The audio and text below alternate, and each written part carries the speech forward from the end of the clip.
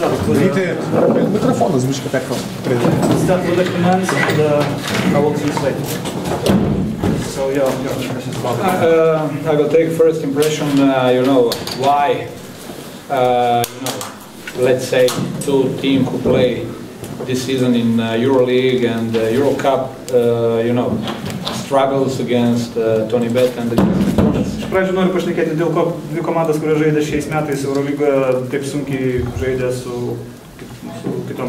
Both teams are, uh, you know, ready to play with the big lineups, what usually is normal in Europe, and the team are built uh, like this.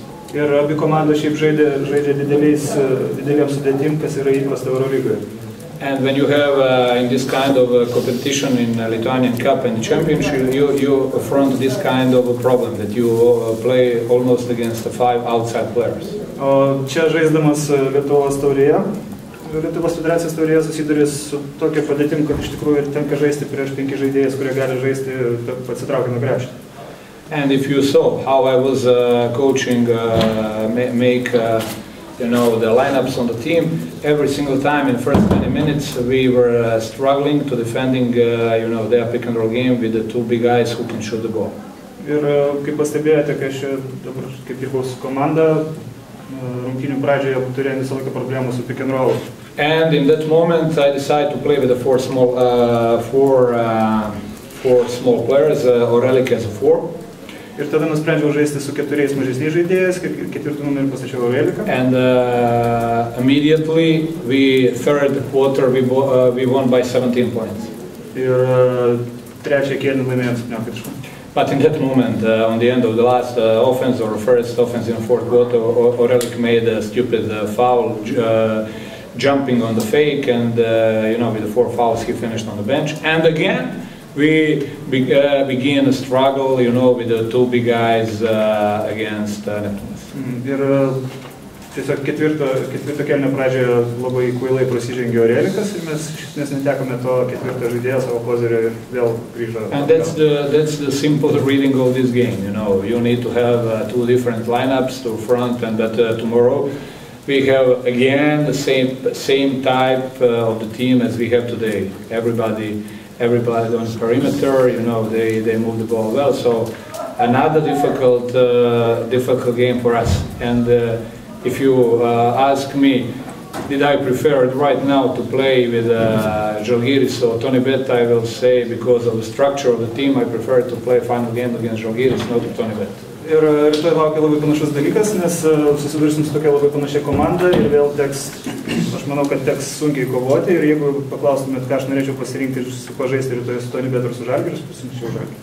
And for me, this is not surprise that uh, you know uh, a big team lineup uh, struggling against a five who can open the court. That's uh, usually much more difficult for the big teams adapt themselves than uh, to other team to punish you. Ir uh, man tai nėra nieko nuostabaus, paprastai taip ir būna, jeigu didelės komandos žaidžia su žemesnės sudėtim, sudėties komandom, jos turi problemų. But I would like to, in the for you know, for the effort in the second 20 minutes, I would like to congratulate the players because it was no easy for us to play this kind of game. Bet aš norėčiau pasveikinti savo žaidėjus, ypač už antrą pusę, nes tai buvo sunkios rungtynės. And I hope so that we are right now much more prepared for tomorrow's game after fronting this kind of game against Neptune. Ir uh, sužaidę šitas rungtynės su Neptūnu, aš manau, kad mes esame labiau pasiruošę rytinius. Klausimą, prašau. Uh, What can you say about Kavaliauskas debut? But, uh, he played much more minutes uh, than I thought, but you know, surging the pro- problems in the first 20 minutes regarding the rebound, regarding you know, maintain defensive position, and uh, you know, for the he spent uh, with us uh, less than 72 hours, and it's uh, really amazing how he he helped us. You know, to even without him, it's going to be very difficult to win this game. So.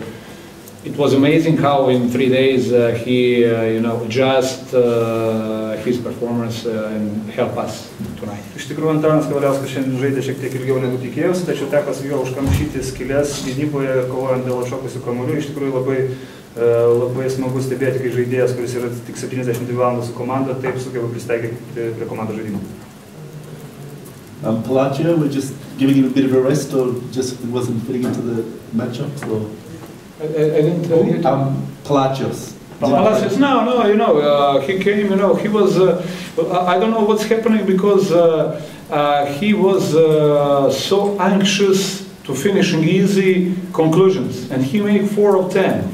And you know, that was maybe even the reason why Neptunas escaped so easy with eight points, be- be- because when you miss uh, five or six uh, easy shots, somewhere you need to, to pay that, and we pay uh, with an eight po- point uh, deficit in the first, uh, first 20 minutes. Four of 10, for his kind of shots, it's too much. But, uh, you know, for us was a great fortune today that uh, Antanas uh, came and he was ready to play.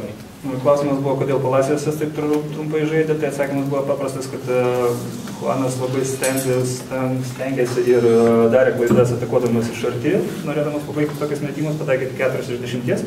Galbūt tai buvo priežastis, dėl kurios e, Neptūnas atsiplėšė į priekį.